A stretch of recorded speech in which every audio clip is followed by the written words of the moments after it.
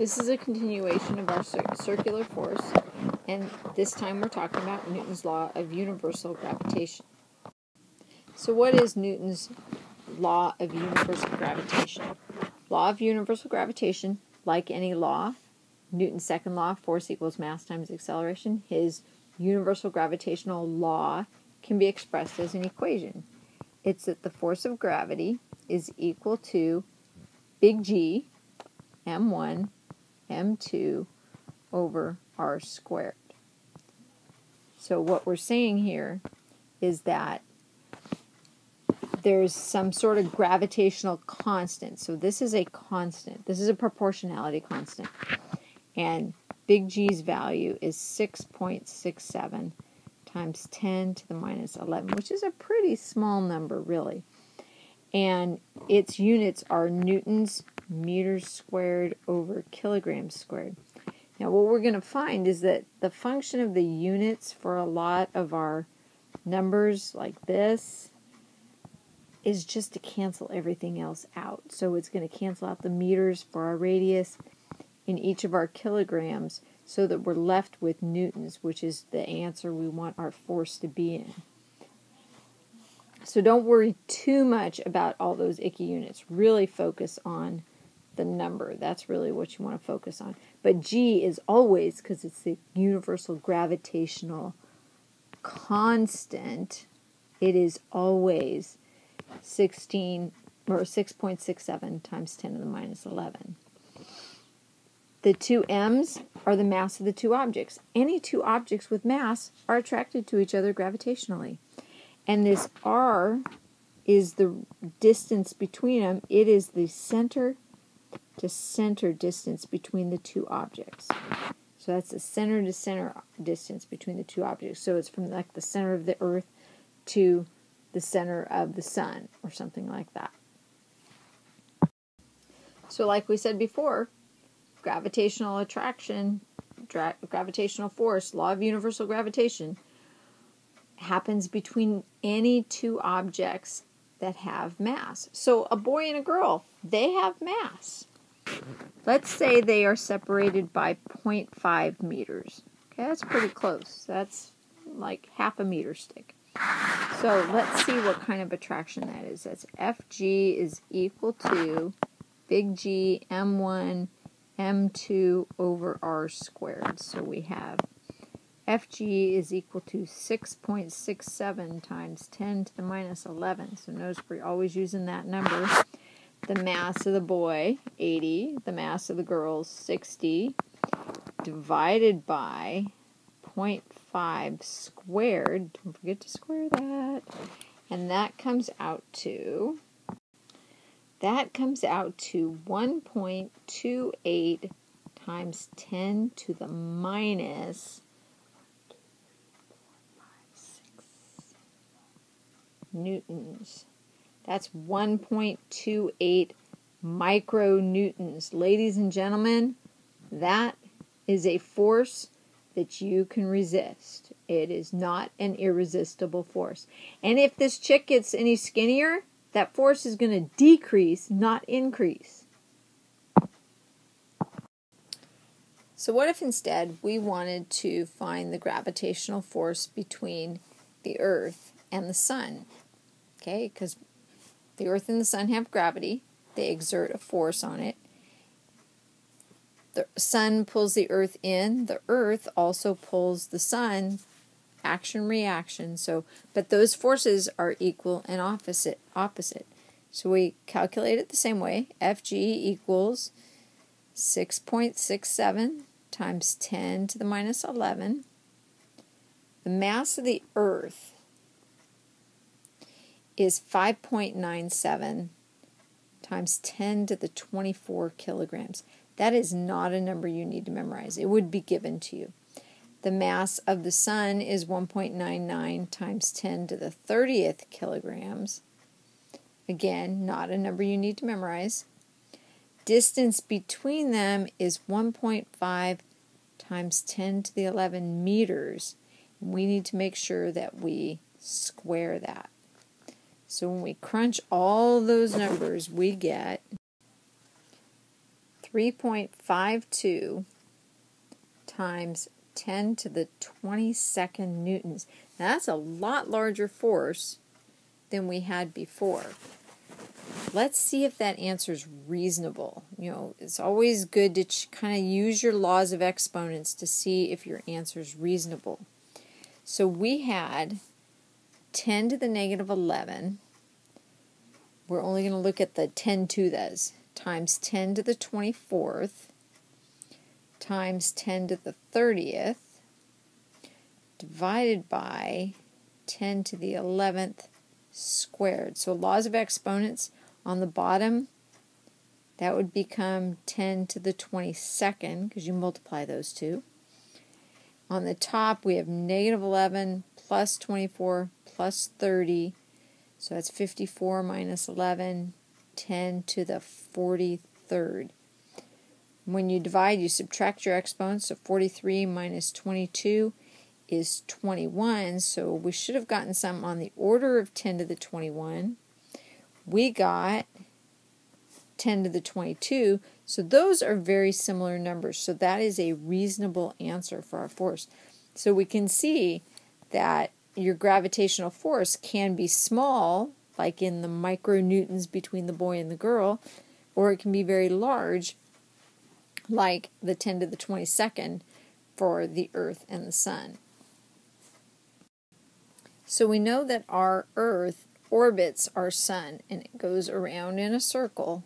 So just like from our last chapter we, or last section, we were talking about universal or circular motion, there has to be some force, some centripetal force that's pulling the Earth into a circle. Otherwise, this Earth would just go off on this tangent line here, and that's not going to work. So there's some centripetal force. Well, guess what's providing that centripetal force? That's gravity. So our centripetal force is also our gravitational force. Same thing. So we could actually, from the number we just calculated for our gravitational force, we could find out how fast the Earth is going around the Sun.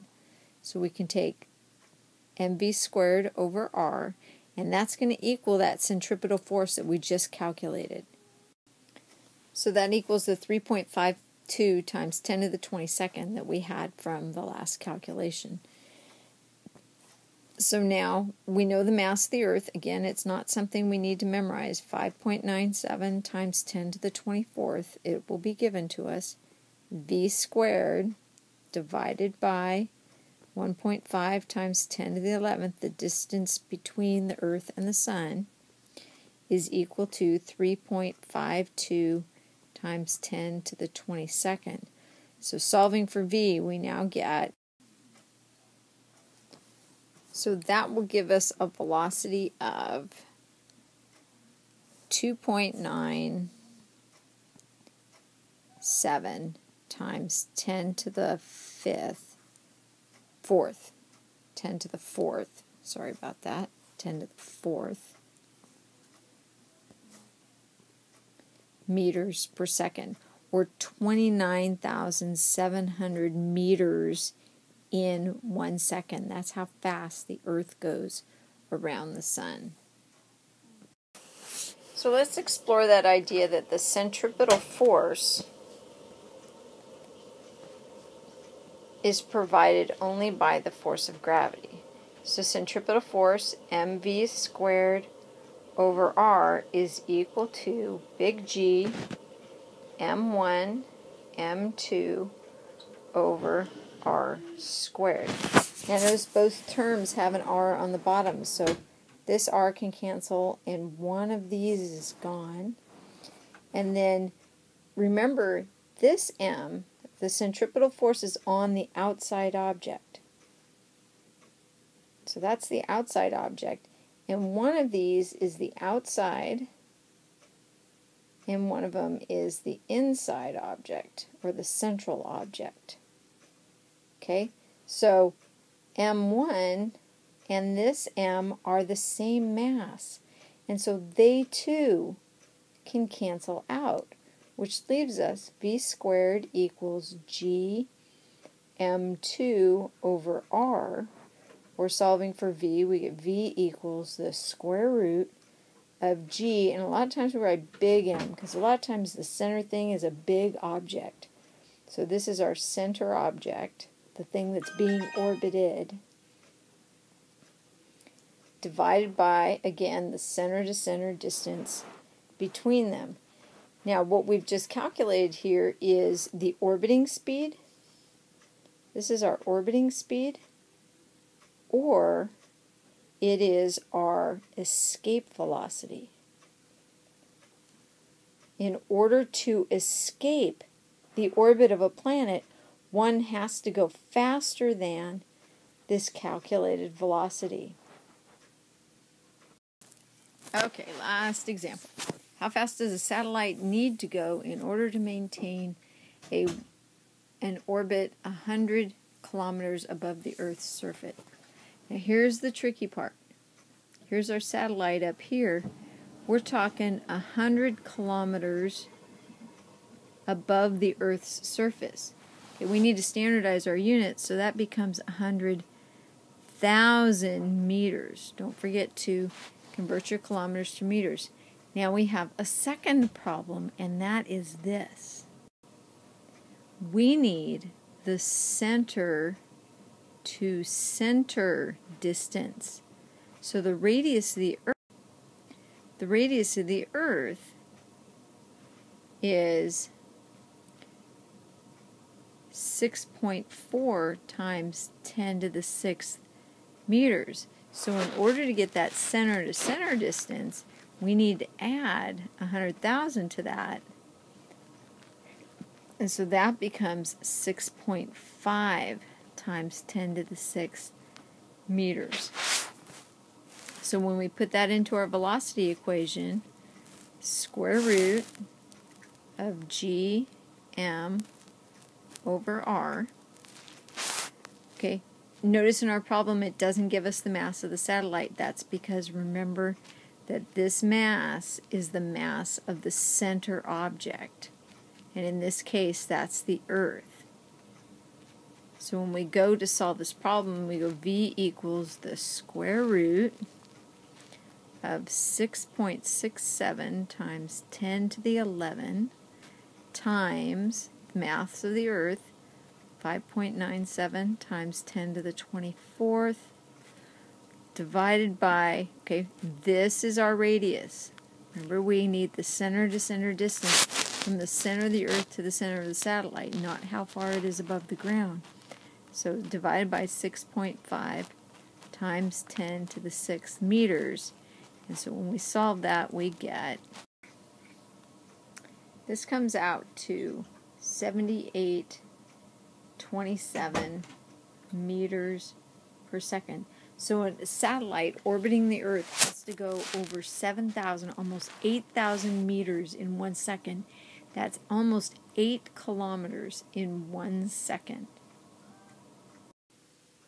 So in this case here, if our satellite was going any faster than 7,827 meters per second, then it would no longer be in orbit and it would fly off into space. Or if it was going any slower than the 7827 meters per second, it would start to fall into the Earth. And this is how some satellites actually end up falling down into Earth and falling out of orbit. So that's it. Good luck, and I'll see you tomorrow.